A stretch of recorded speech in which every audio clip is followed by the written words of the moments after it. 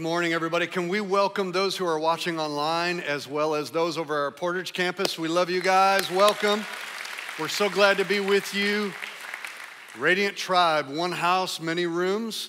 And uh, I'm fired up. You guys got your Bibles? If you got your Bible, lift it up wherever you are. Raise it high, raise it proud. Some of you are lifting up phones. Sure, okay. Yeah, if the power all goes out, hopefully your battery's charged. But uh, I don't care whether it's on your phones, your iPads, your Bibles. Turn with me to the Gospel of Luke, chapter 10.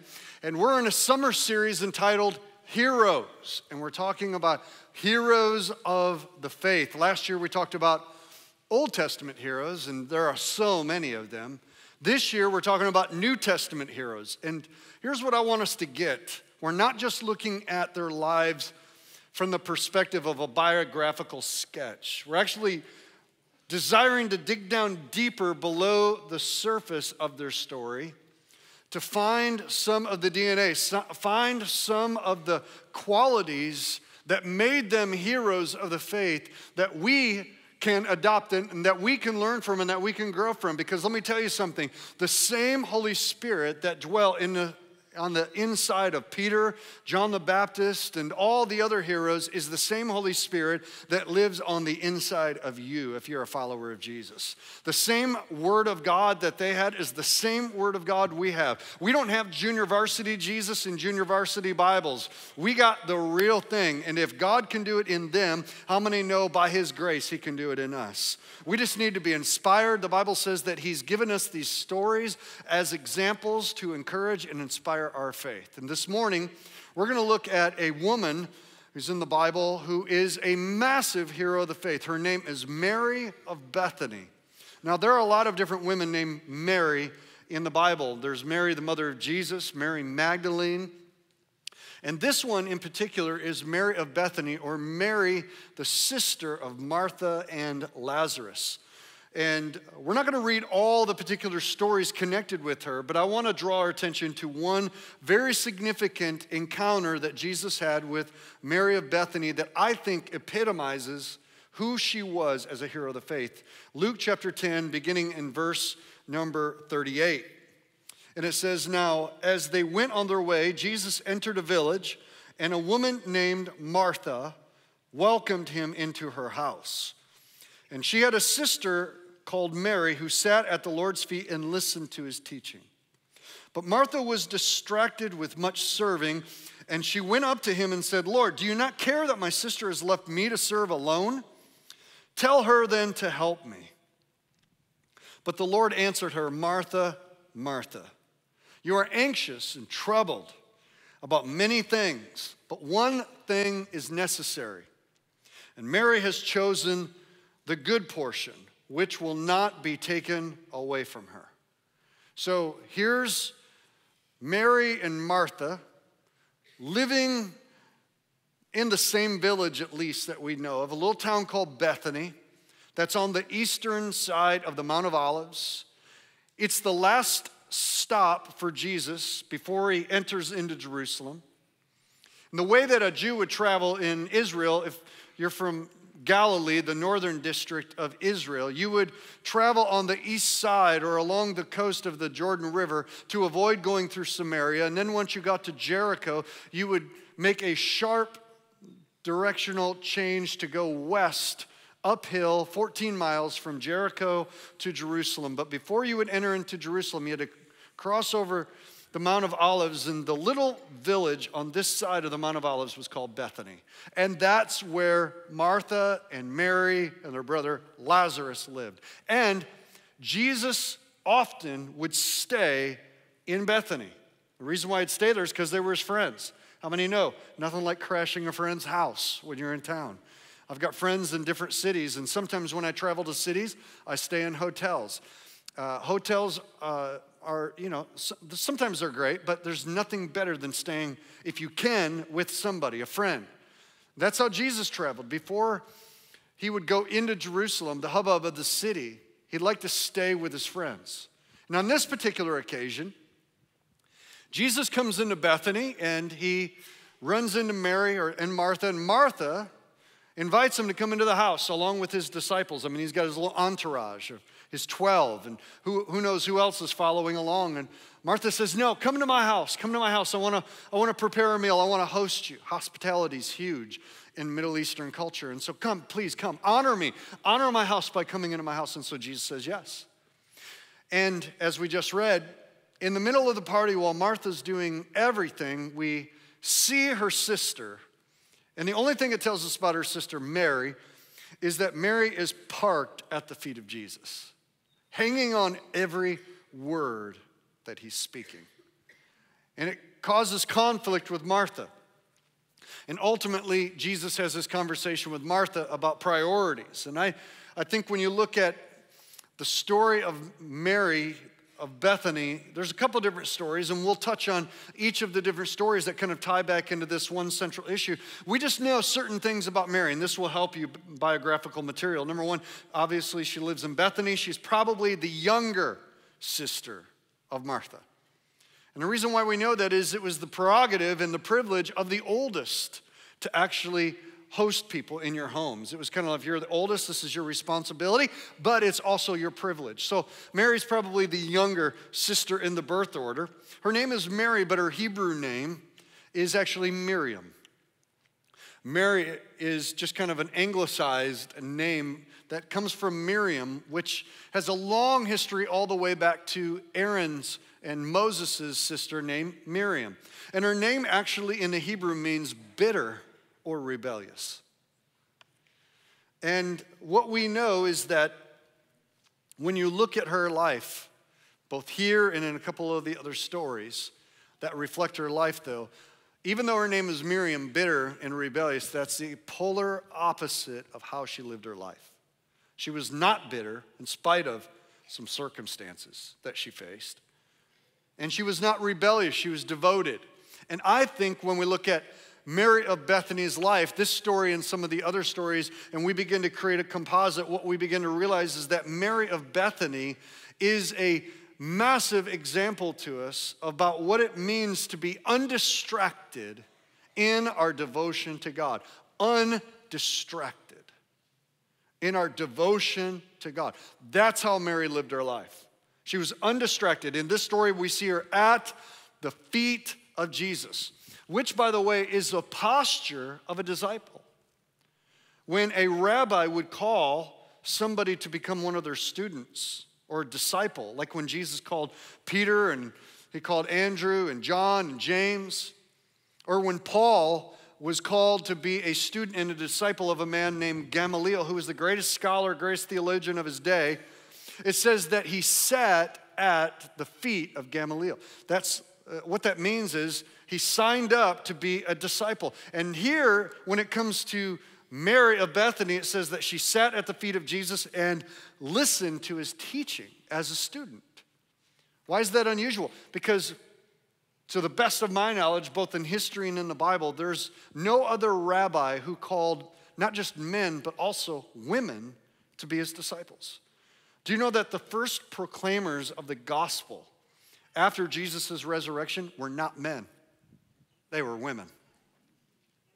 Do you know that the, some of the disciples that traveled with Jesus were women Mary, the mother of Jesus, but then Mary Magdalene and Mary, and there's a whole list. You can actually go through the Gospels and compile a list of about 11 different women that followed Jesus. So Jesus had 12 that were the apostles, but he had at least 11 other women that traveled with him and were part of his ministry team. So if you ever hear in our culture that Christianity is anti women, that, that may be true of some movements within the church, but it's not true of Jesus. Jesus is an equal opportunity Savior, and he also calls women to be his disciples because he created you with some gifts that us guys don't even necessarily get. And I'll tell you one of them it's the ability to focus in the face of distracting environments.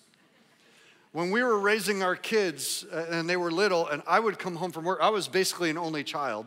When I came home as a kid, I was the only one. My house was quiet. Jane grew up in a house with siblings. And so when I came home and our kids were screaming and toys were flying, Jane was able to like focus in a conversation. I could not.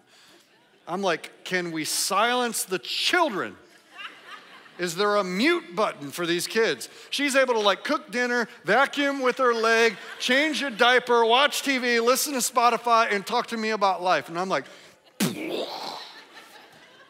Mary of Bethany was a disciple of Jesus who knew what was important in her life and had a massive capability of living out her priorities, of being undistracted, especially when it came to devotion to Jesus. Her relationship with God was undistracted.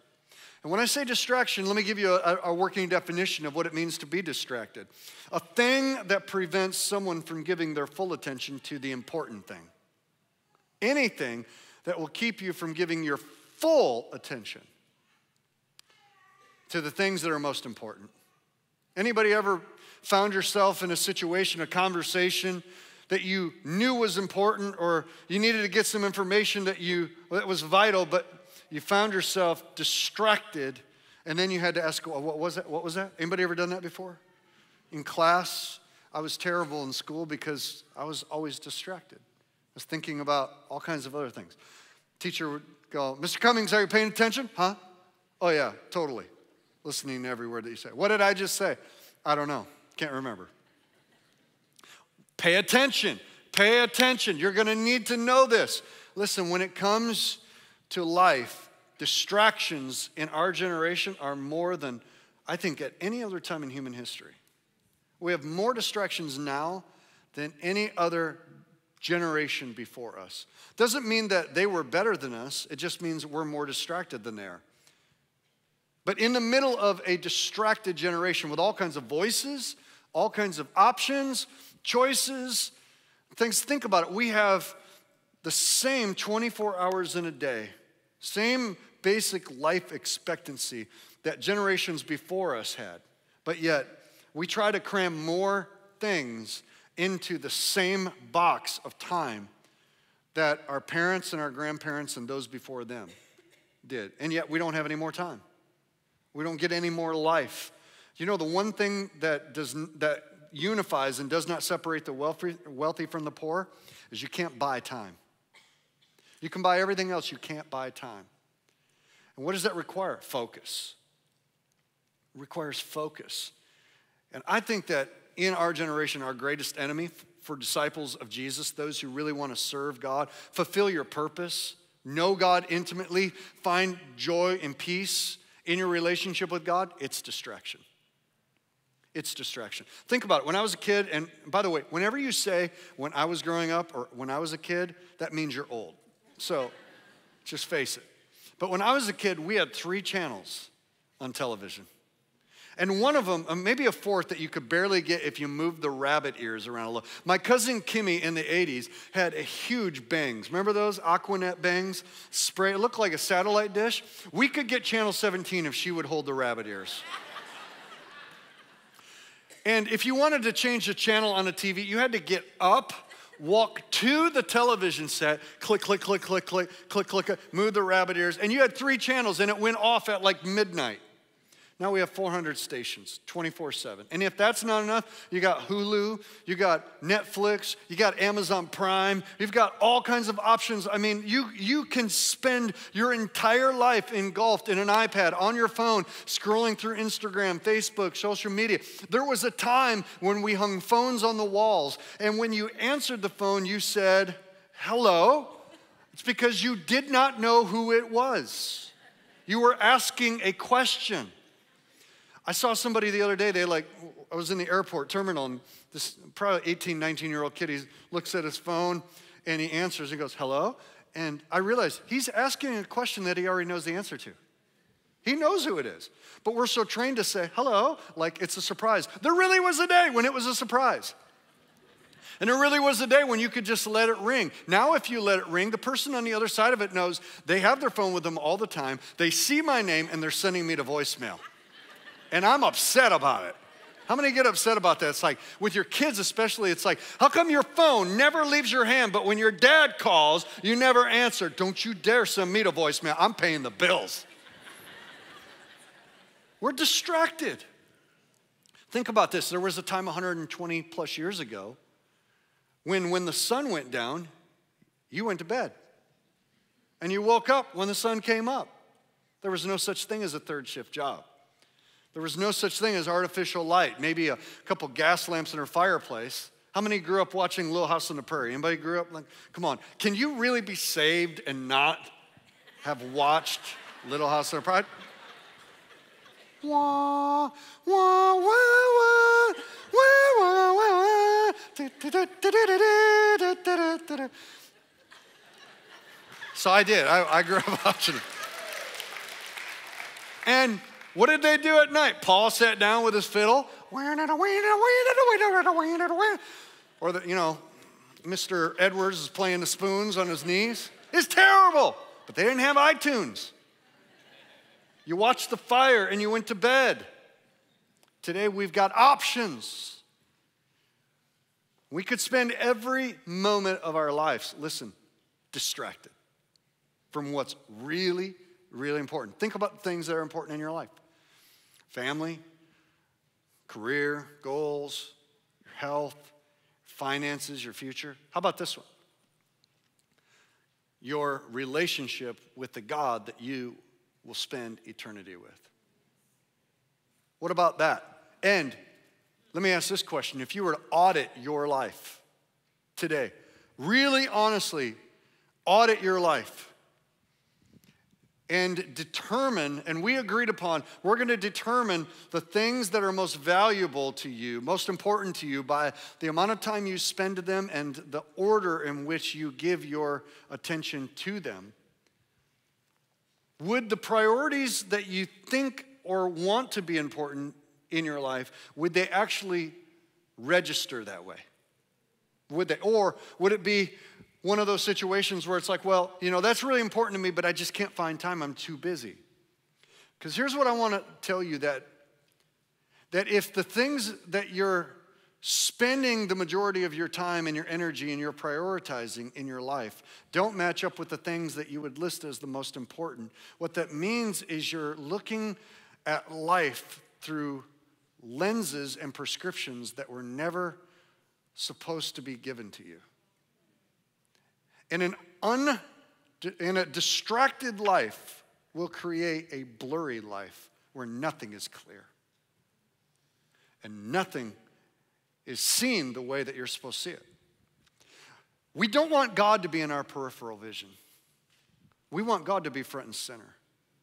Hebrews chapter 12 says, looking unto Jesus, who's the author and the finisher of our faith, which means God is the God who starts our story and is finishing on the story. But the way that we start and finish strong is by keeping our eyes on Jesus, the priority of our life. And Mary of Bethany did that very same thing. She did that. She lived undistracted while her sister is busy doing things, she is sitting at the feet of Jesus.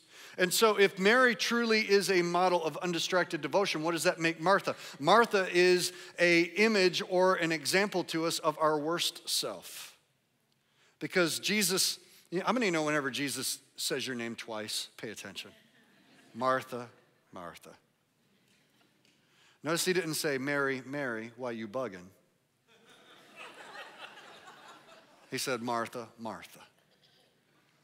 He said, You are troubled and anxious. Think about our, gener- think about our culture trouble, which is stress, and anxiety, which is worry about many things. But one thing is needful. In Mary, she chose that, the better part, the part that will not be taken away from her. So here's what I want you to get this morning. Inside of each of us, there is a Mary and a Martha that are battling for dominance. Part of your personality is going to swing towards Martha, some more than others, and some of us are going to swing towards Mary. There's a war between the Mary and the Martha in us, and if we're going to live undistracted in our devotion to Jesus, we've got to let Mary win the battle. We've got to let the Mary in us that, that part of us that sits at the feet of Jesus and prioritizes our relationship with God and sees everything else through that lens first because that gives us focus from an eternal perspective. And then we do the, I'm not talking about living in a monastery where all we do all day long is pray and read our Bibles and I quit my job so that I can be undistracted. Well, guess what? You're going to be really hungry. We need to go to Little League and we need to take our kids on vacations and we need to have jobs and we need to work hard and we need to have dreams and we need to have goals and we need to go to the gym and we've got to have date nights and we've got to watch comedies and laugh and you've got to binge on Netflix because Stranger Things is coming out in a couple weeks and you've got to do all those things. There's nothing wrong with those things. They just cannot become the substitute for the one thing, the prioritized thing in our life that is the most necessary, which is sitting at the feet of Jesus. And from the position of sitting at the feet of Jesus, we gauge the importance of everything else. That's the difference. So, I want to show you from the life of Mary that it wasn't that she lived a perfect life without any challenges. No, she faced the same challenges you and I face every single day, but yet she chose the better part, and that's what enabled her to be undistracted. So, let's take a look at this.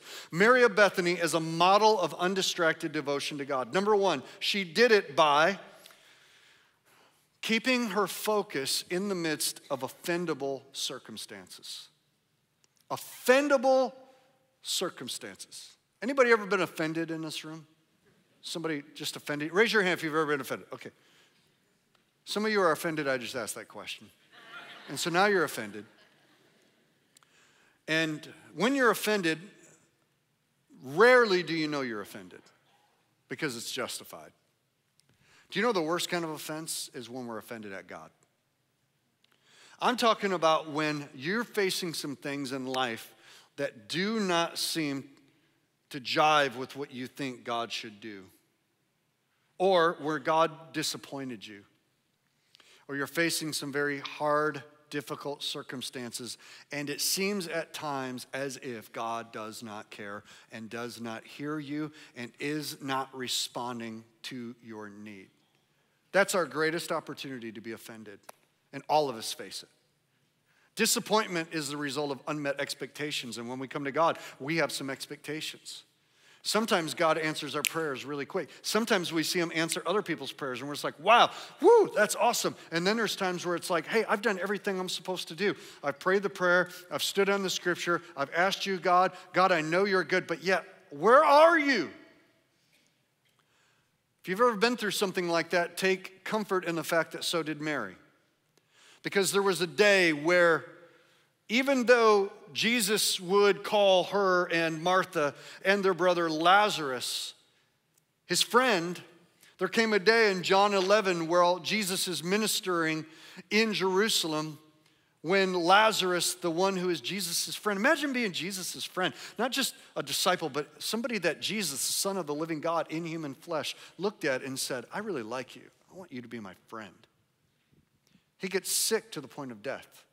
So, Mary, the older sister, the caretaker, she sends a messenger over the mountain into Jerusalem and says, Go find Jesus. And tell Jesus that Lazarus, the one that you love, he's sick and I need you to come and heal him.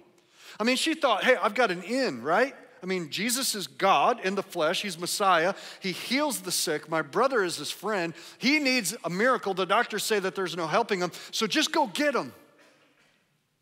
And it, when you read the story, she sends the messenger, and when the messenger shows up and Jesus hears about it, it says in John 11, verse 5, now Jesus loved Martha and her sister and Lazarus. So he loved them, right? Jesus is love, God is love. He loved them. And then it says, so because he loved them, so when he heard that Lazarus was ill, how did he respond? He stayed two more days. How does that make sense? Wait a second. You, what was Martha's expectation? Well, you obviously love Lazarus. You're going to drop everything. Like an ambulance is going to woo, woo, woo. You're, Jesus is going to get a police escort and get to Bethany so that he can heal Lazarus. It says he loved him. But then he waited two more days. Wow. The disciples questioned him, Hey, shouldn't we be going? He's like, Oh, don't worry about it. God's got this. You see, Jesus knew the end from the beginning. Martha and Mary didn't.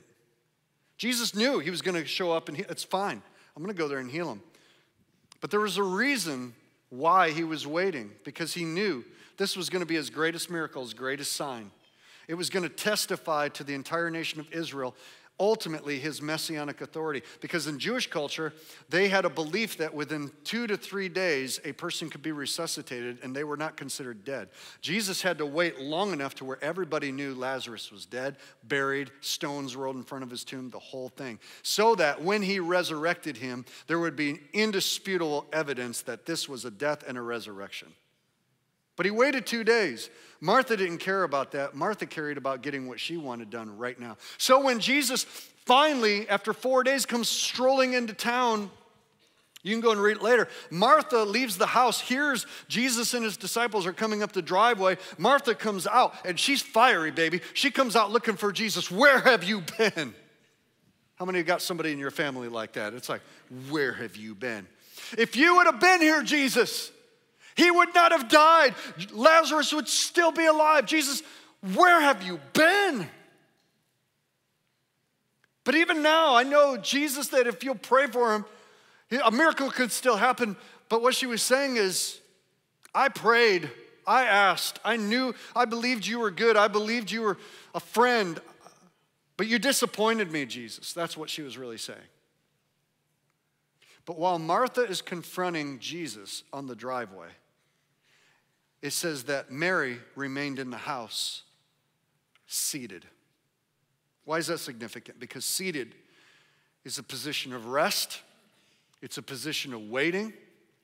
She was grieving, she didn't understand, but she wasn't offended. Jesus walks up to the tomb, and I want you to think about this. Jesus standing before Lazarus' tomb, he cries. Shortest verse in the Bible says, Jesus wept. Two words but it says so much. He knew he was about ready to raise him from the dead. He knew his intentions, but it still saddened him. And then Jesus said, Roll the stone away. He's dead. He's been in there four days. Jesus, it's too late. Huh. It might seem too late to you, but it's never too late for God. Roll the stone away. Lazarus, come out. You know, some scholars believe that if Jesus had not specified who he was calling out of the grave, he would have emptied out that cemetery. There's coming a day when Jesus comes back and he's going to call all the saints out of the tomb. And what you saw him do to Lazarus is going to be done on a massive scale. But on this particular day, restrained, he, he said, Lazarus, my friend, come out. And Lazarus comes waddling out. He's raised from the dead. I am the resurrection and I am the life. Offendable circumstances. You can look at it and you can judge Martha, but we've all been there. It's like, God, I thought I was your friend. I thought you loved me. I read your promises.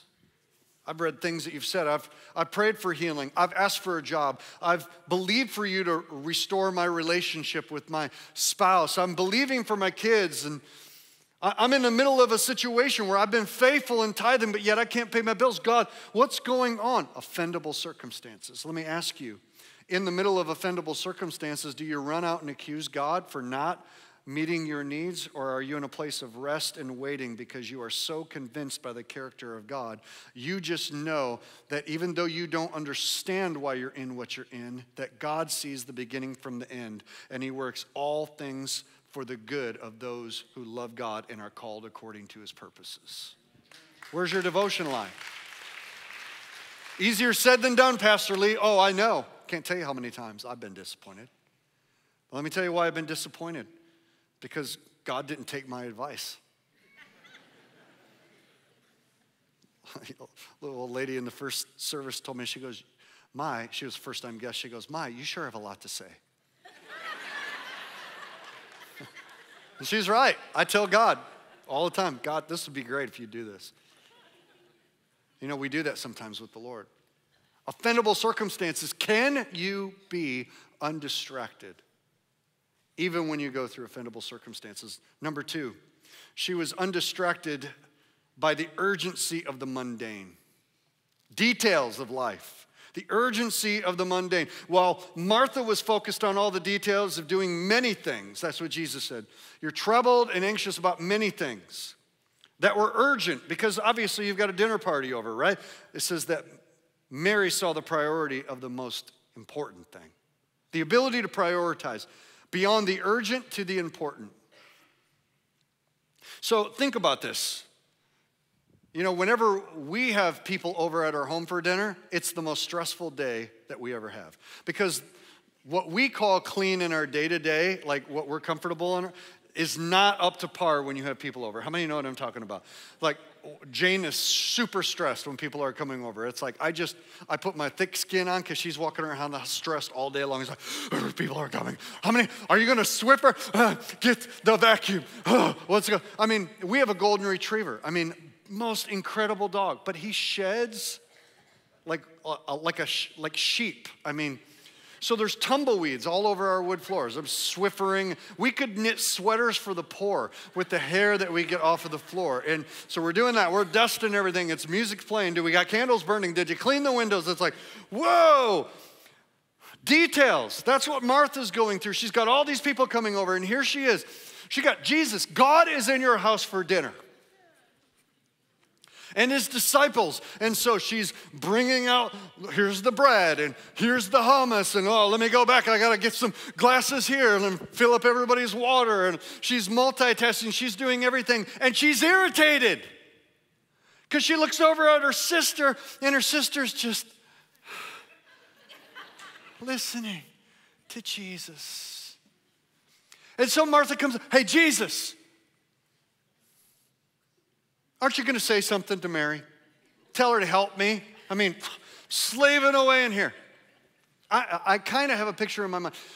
Moms and wives specifically, have you ever found yourself trying to clean up after dinner or clean the kitchen and you're putting dishes away and everybody else is 20 feet away watching television and nobody moves? And so what do you do? You start throwing stuff.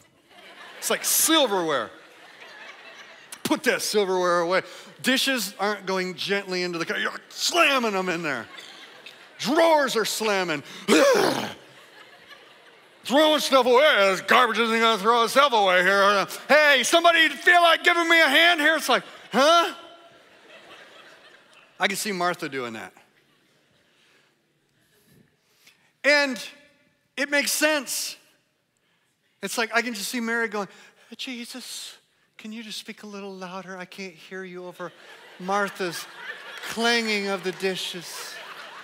Just speak a little. She's so focused. Martha's like, mm. come on, Jesus. Martha, Martha.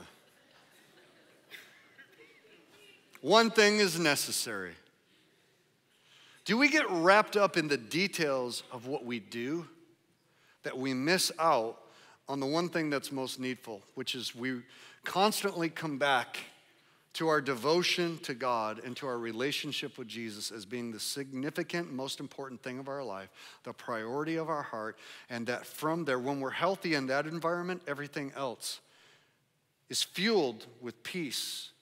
I mean, we can work hard. It's one of the reasons why I believe that spending the first part of your day is so significant with the Lord. I read my Bible and I pray, and it's not because I like mornings. I would rather get up and go do something else. I just know that if I get caught up in the rat race of everyday living, I'm not going to do it later on.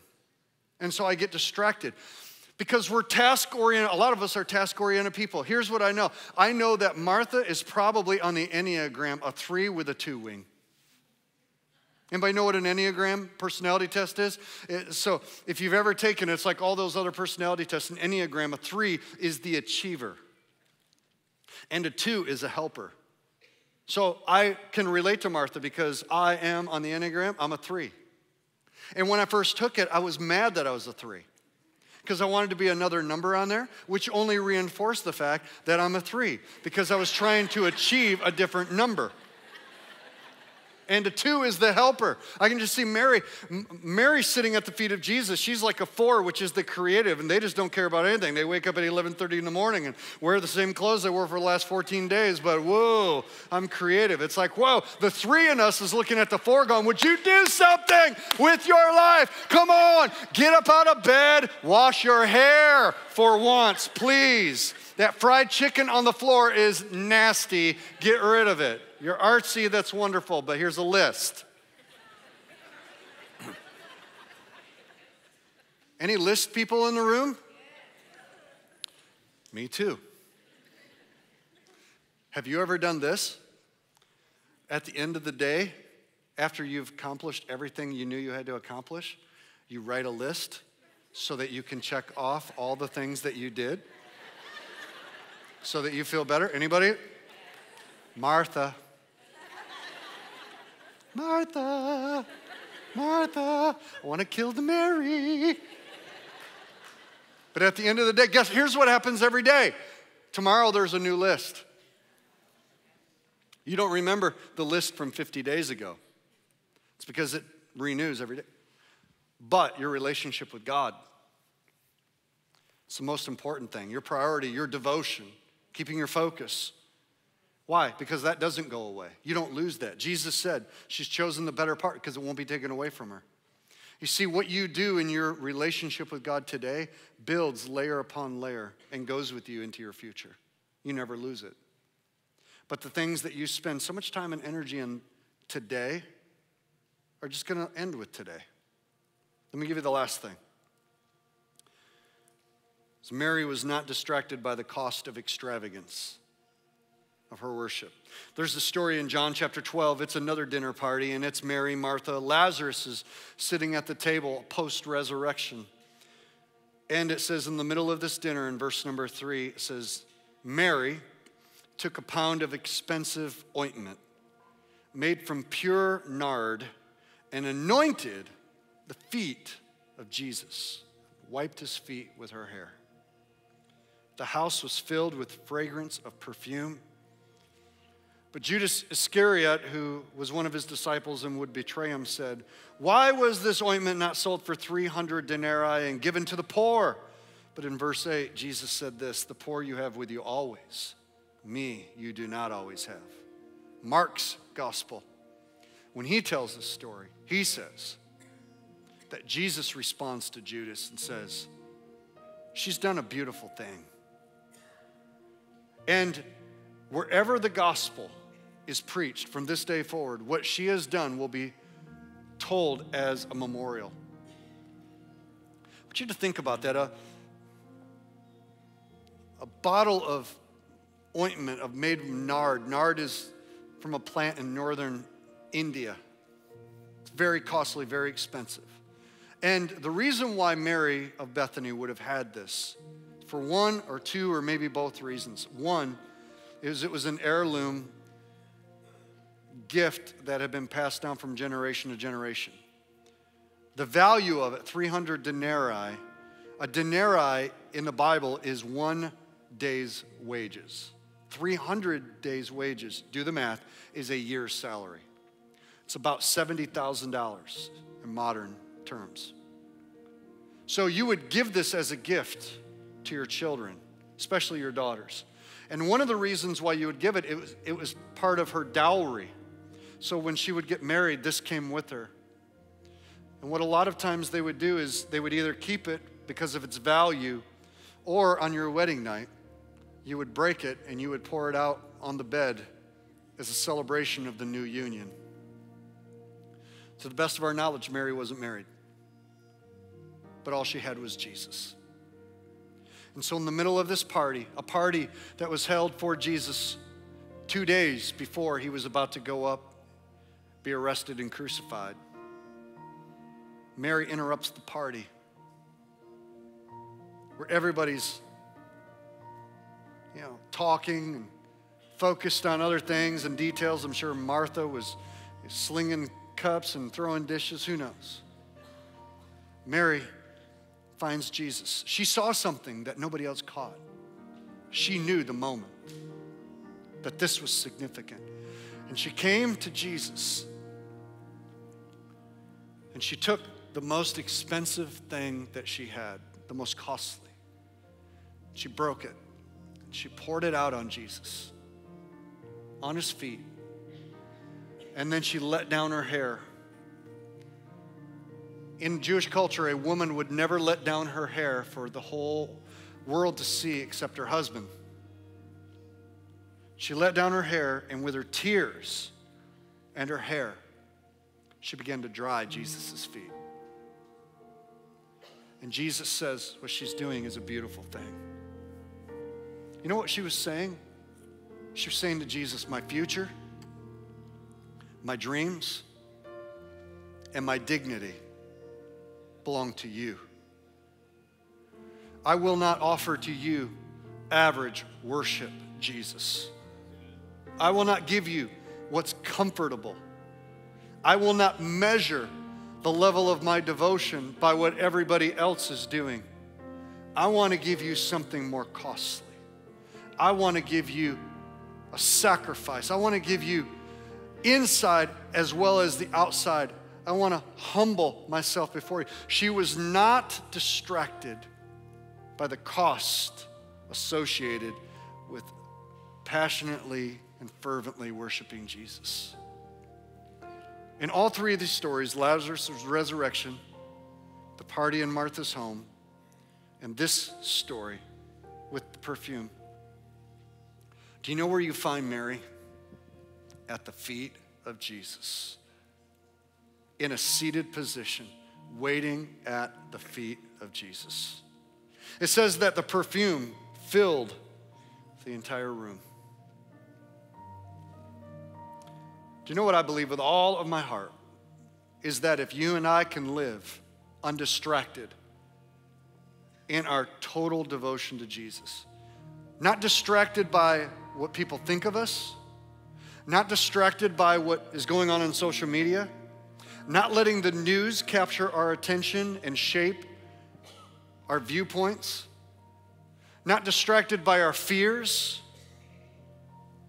We don't allow the details to run our life. But if we can keep our eyes undistracted on Jesus and we keep coming back to it saying, God, I want to give you everything. I want to give you the best of me. My future is in you. My dignity is in you.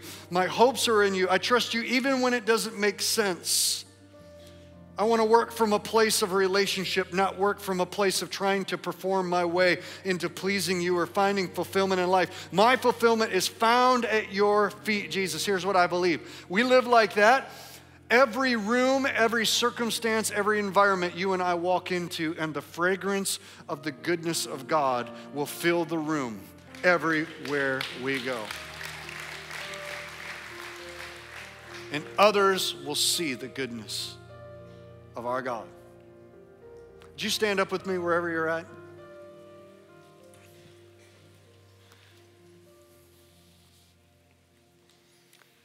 Charles Spurgeon, great preacher from London, lived about 150 years ago, one of my heroes, wrote this Permit not your minds to be easily distracted or you will often have your devotion destroyed. Turn your eyes upon Jesus. Look full in his marvelous face, and the things of earth will grow strangely dim, and the light of his glory, his grace. Let's pray. Jesus, our Lord. We confess that we're easily distracted. We confess that our attention is so easily averted. But Lord, today we also confess that there's nothing worthy of comparison with who you are. And there's nothing as worthy of our full attention in all of our lives our dignity, our worship, our sacrifice, our time. There's nothing as worthy as you. Lord, you're not just a God who stays at a distance, you're a God who draws close to us. You're a Father who invites us into the secret place to be with you. Lord, I pray that even in the middle of summer, no matter who we are, where we're at in our faith journey, Lord, we would not allow our hearts to become distracted. But we would keep the main thing, the eternal thing, the most prized and valued thing. Our devotion to you, we would keep it front and center. Lord, forgive us for the times when we haven't, and give us grace to change and to repent and to have a new way of thinking. Lord, we want to live in relationship with you. We want to live from the perspective of who you are and let everything else flow from that. Help us to be like Mary. And we pour out our worship, we pour out our devotion at your feet, Jesus. How beautiful are the feet of our Savior. I want to invite our prayer team to make their way down front this morning. And before we dismiss, three people quickly that I want to highlight. Number one is you're here and you you may believe in God, you might have gone to church all of your life, but honestly, you've never had a defining moment where you have recognized that you need a Savior, a personal Savior. You need your sins to be washed and you so that you can be made right with God. Today, believe the Spirit of the living God is maybe grabbing hold of some of our hearts and He's calling you repent. Repent is not a bad word. Repent means change your mind. Stop thinking that you've got it all together and repent and acknowledge Jesus as the Lord of your life. Today, you can be made a child of God if you'll repent and believe. That's first group. Number two, you're here and you're facing some offendable circumstances, some hard stuff, and it seems as if Jesus is waiting two days and you can't figure it out. Your heart has been disappointed with God. Today, I'm going to challenge you. Don't allow your hearts to become hardened. Keep them soft. You may not know what God is going to do, but you can know the God who is going to move. You can trust Him. You can stay seated in rest and in peace, knowing God's at work. And in a moment, I, those of you who are struggling with offense, I want you to come and receive prayer to break that so that you can walk free. And then the third group is this you've got some baggage, some stuff that's distracting you. And today you know you need to let some of that go and start with a new perspective today at the feet of Jesus. I'm going to pray, and then when I dismiss, if that any three of those are you, I'm just going to invite you to come and receive prayer up front. God meets us when we pray together. Lord, today, thank you for the invitation to draw near to you. Meet us in this place as we pray in Jesus' name. Amen.